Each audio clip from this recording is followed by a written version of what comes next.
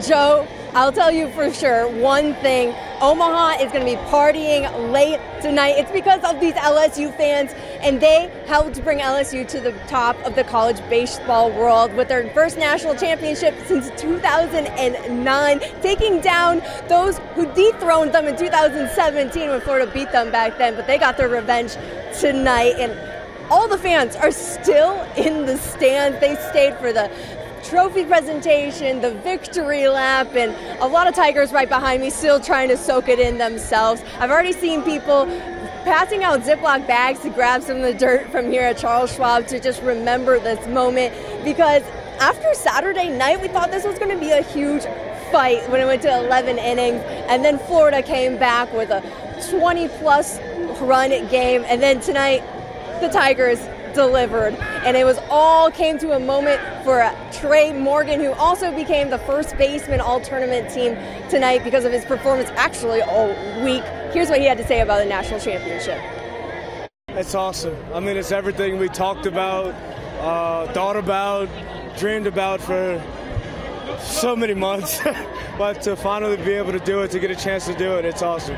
It's incomparable. What were your words with your dad? I saw you ran right to him on the sideline. What, yeah. what were those words? I mean, that's the that's the first people I hug after every game, win or loss. I mean, because without them, this would all be a dream.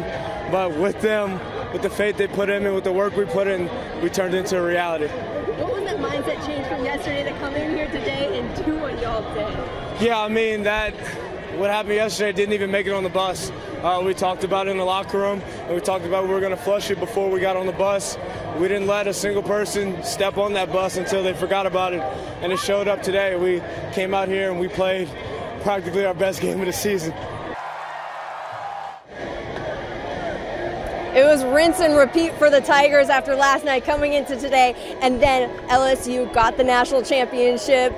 Taking a note from their football team a couple years ago, a couple Tigers already on the field with their cigars. I can smell it coming through here. I'm sure there will be plenty more as they pop up, but it will be a busy night in Omaha with these LSU fans and a national championship going back to Baton Rouge. Joe?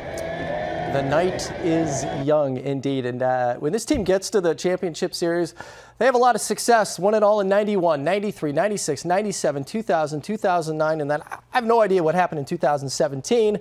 But uh, back to reality in 2023. It is a seventh national championship for the LSU Tigers.